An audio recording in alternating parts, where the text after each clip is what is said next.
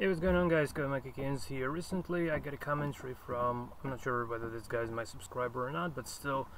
So, he gives me a nice feedback and so here is here his request basically. So, I'm trying to create a drop-down list so people can download different versions of the of the file in Excel. Uh, now it works if I create download button for each of them, but doesn't work uh, in drop-down. Uh, I don't know who to make I guess how to make how to make the action tag dynamic. Can you please help me with this? And then he gives the code. So I've already uh, uh, I already had a quick look at the code and even tried to run this even though it's the partial version. So uh, eventually I've decided to create a new tutorial on this rather than digging in this code because uh, I did have to write li literally everything here. So it's way easier to actually try to um, kind of go from scratch rather than uh, handling this stuff. So uh, let me just try to explain uh, what in particular we're gonna be we're supposed to be coding in this video. So imagine a drop down uh, select uh, select option box and we just click uh, on a given element and it contains a proper file name so uh, we would be downloading the corresponding file name. So if you're interested in following this sort of tutorial, buckle up and we begin. So here I uh, have a new file for called app.py which would serve as a single file web application with a Python and Flask. Uh, so the very first thing to consider we need just to import a couple of big packages so I can say from Flask import all well mm, I don't know probably we don't even need CSV so let, let's drop it. So probably yeah just this is kind of enough. So now let's create create app instance. And I say app equals flask and the argument of name with the argument of name. And now uh, so create let's say oh my god create user interface route. And let's say app dot route and I'll, I'll use just bare root here. So def root. And here we'll return render template string. Okay. And here we'll uh, draft quickly our HTML file. J just right in a moment but before that uh, uh, to create another route. So create well, let's say uh, download uh, file download route. So file download route. And here I say like app dot route. And let's simply just try to call this of download. And it would be taking some parameters uh, but it would also suppo support not uh, it would also support the post method, which is absolutely essential in order to uh, achieve the goal uh, being described in the initial request. So we'll take the get. Uh, oh my god, what have I done? So the get method and and the post method as well. And let's call this def download, and we'll return. Well, let's actually return send file here and the file name. Uh, yeah so we would uh, so we will be extracting this file name.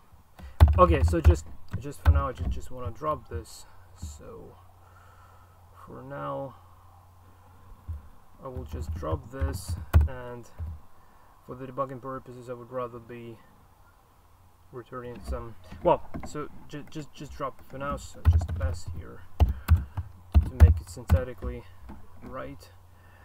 And yeah let's provide the main driver act to actually run this so I can say if name equals to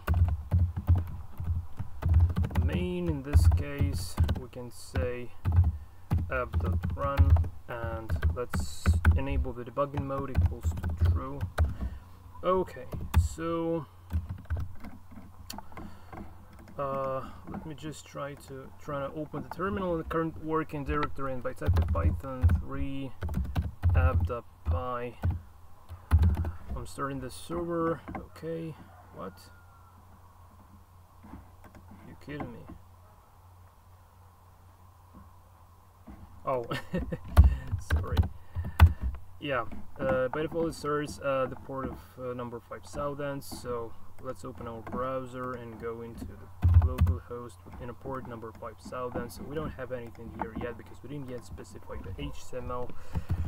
So uh, let's have some h1 tag. Let's align this in the center. I know it's weird to do this like, but just just to make it slightly bit more user friendly and readable. So uh, let's say app to download files uh, via clicking on items within option box. Save. Let's have a look. If we do have this updated, yeah, perfect. So now I just want to create uh, an option box. So we need to select select tag. Yeah, we will. We would also need a form. Well, uh, I will. I will add this just right in a moment. So select. Uh, now we, we need this name. So name equals to. Let's call this select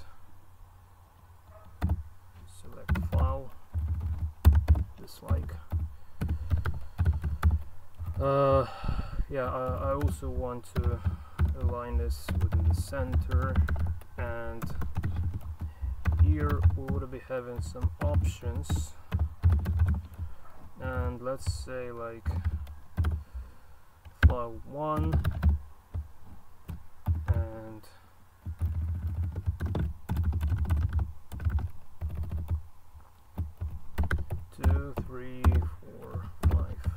save. Let's have a look if it appears. Okay, it does. It does appear perfect. Yeah. Uh, uh, for some reason, it didn't really go to the center. Just wondering if I just add the form, is this gonna be centered? Oh, that's because it just malformed. Just, just a typo line. Save. Yeah, now it should work. I, I, I guess. Doesn't still. Hmm.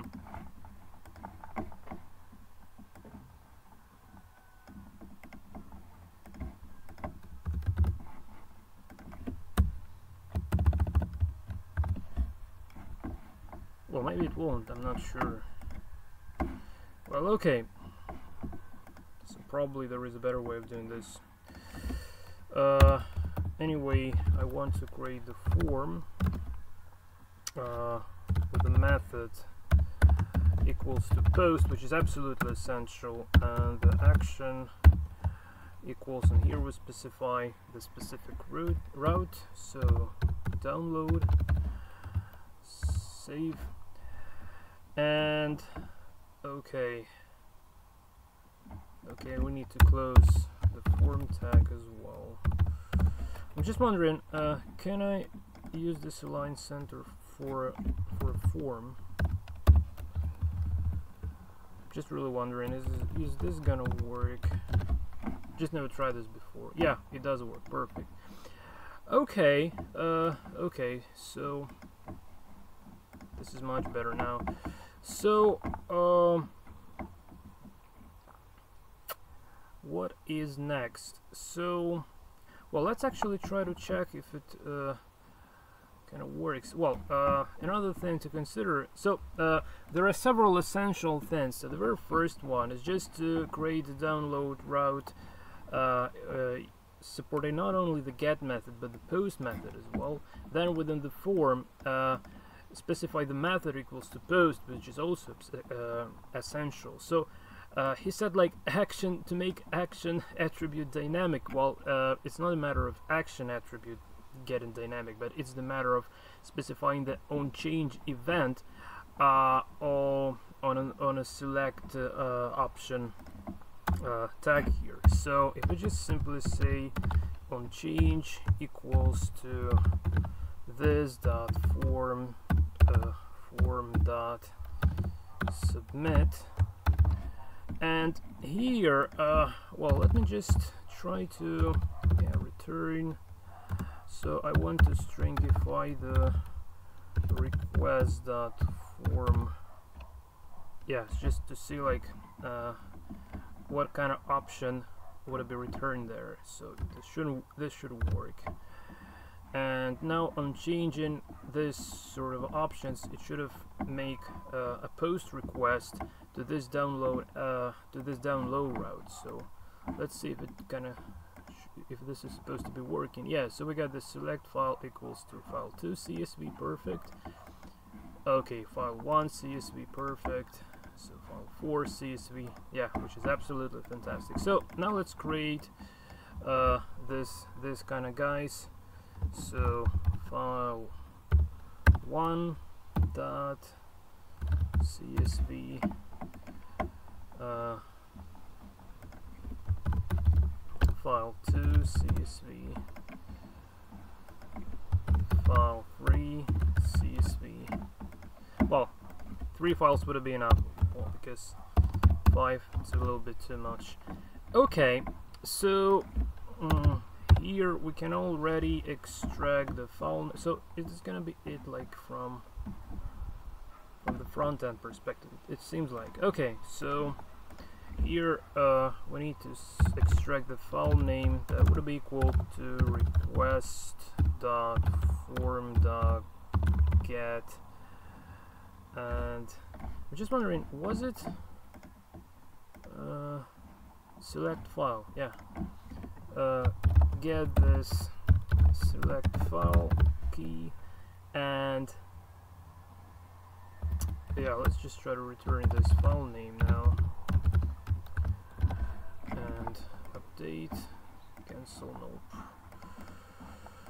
Oh my god localhost and yeah so now we got the file name being extracted from the form submission there.